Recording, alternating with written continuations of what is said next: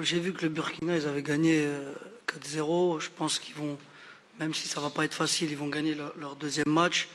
Euh, un petit virage. Non, ça, sera un match important comme tous les autres. Ça va pas être facile. Bon, aujourd'hui, on l'a vu, on a un peu, c'était pas, c'était pas facile en première mi-temps, malgré que le terrain nous a vraiment pas aidé. Il faut qu'on sache que le terrain, il est, il il est très, très, très, très abîmé. Alors, de, la tribune ou de la télé, il peut paraître euh, bon, voire très bon, mais il est presque injouable, si, je peux me permettre, presque injouable. Il y a du sable.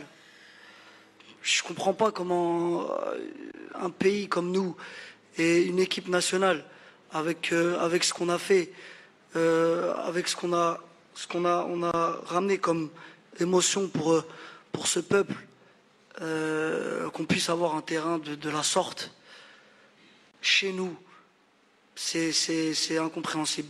Mais bon, on va mettre ça de côté, on l'a déjà dit plusieurs fois. Après, euh, ouais, au Niger, ça va, ça va, ça va pas être facile, mais comme j'ai dit, ça va être un match important, comme ça a été aujourd'hui, comme ça a été contre le Burkina. Et voilà, il faudra aller se battre, il faudra aller gagner là-bas, parce que c'est sûr qu'on ne peut pas se permettre de, de, de- de- faire un, un autre faux pas comme on l'a fait contre le Burkina.